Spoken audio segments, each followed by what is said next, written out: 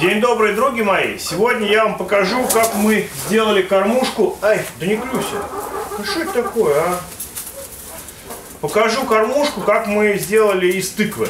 У нас э, одна из наших тыкв больших начала портиться, но не успели съесть, в морозилке не было места, потому что морозилка была занята мясом, э, ну, курей, там, бройлеров. Ну, я вам показываю видеообзоры про наших бройлеров, про наших петухов. Также там с охоты было мясо. В общем, места морозилки не было, и тыква немножко подпортилась. Неожиданно она подпортилась, лежала, все нормально вроде, а снизу начала подгнивать. Граждане, товарищи, ну подождите. Вот. Начала тыква подгнивать, и из-за этого пришлось э, ее, короче, отдать курам. И мы ее решили использовать как кормушку. Очень удобная кормушка, нам очень понравилась. Курам тоже. Берем сейчас пивную дробину. Это дробина от варки нашего домашнего пива. И отдаем птице. Как вы видите, птица очень довольна, с удовольствием кушает пивную дробину.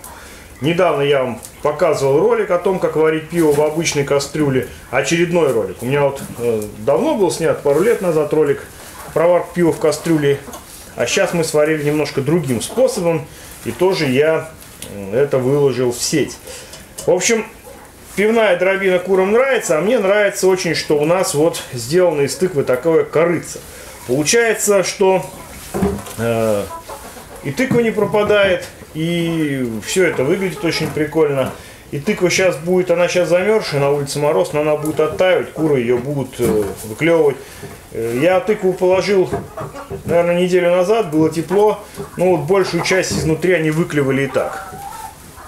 Куры, покажите хоть. Покажите, как это выглядит, а то вы все заставили, ну подвиньте. Вот, то есть вырезана сердцевина, туда мы можем спокойно загрузить любую мешанку. Да, куры, довольны?